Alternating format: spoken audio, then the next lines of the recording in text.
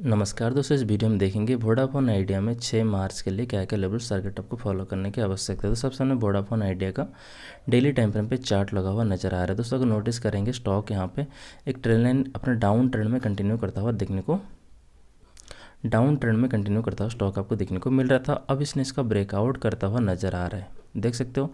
एक और कंडीशन अगर आप थोड़ा सा ध्यान देंगे दोस्तों स्टॉक के लिए एक सपोर्ट लाइन था, क्योंकि दोस्तों जो प्राइस पिछले बार पिछले बार नीचे आया था, यहाँ से सपोर्ट लेके ऊपर चला गया था तो मैक्सिमम संभावना रहेगा प्राइस यहाँ से फिर से ऊपर जा सकता है, यानी कि सपोर्ट लेकर ऊपर जाने का संभावना देखने को मिल सकता है।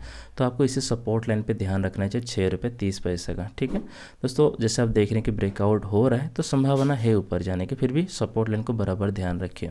दोस्तों, अब हम बात करेंगे वोडाफोन आइडिया में नेक्स्ट ट्रेडिंग सेशन में क्या क्या लेवल्स और शेयर प्राइस को ध्यान में रखना चाहिए। दोस्तों, हमने चार्ट को लगाया वन आवर के टाइम फ्रेम पर। दोस्तों, सबसे पहले जो आपको इसमें रेजिस्टेंस लाइन फॉलो करना चाहिए सात रुपये पाँच पैसे को फॉलो करना चाहिए। दूसरा रेजिस्टेंस लाइन फॉलो करना चाहिए सात रुपये बीस पैसे को। देन तीसरा रेजिस्टेंस लाइन फॉलो करना चाहिए आपको।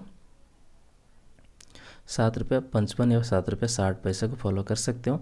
तो सपोर्ट लाइन की अगर हम बात करें, दोस्तों सपोर्ट लाइन फॉलो करना चाहिए। ऐसे तो छः रुपये सत्तर पैसे के सपोर्ट लाइन है, लेकिन डायरेक्टली छः रुपये पचपन पैसे को फॉलो कीजिए। और दूसरा सपोर्ट लाइन यहाँ पे जो हमने ड्रॉ किया छः रुपये तीस पैसे, इसको फॉलो कीजिए, ठीक है? दोस्तों, इस तरह और भी इन्फॉर्मेटिव वीडियो देखने के लिए चैनल को सब्सक्राइब करके बेल आइकन दबा लीजिए। वीडियो सिर्फ़ एक एजुकेशन पर्पज बनाया गया है। स्टॉक में बाय सेल होल्ड करने की सलाह, सुझाव ने धन्यवाद दोस्तों।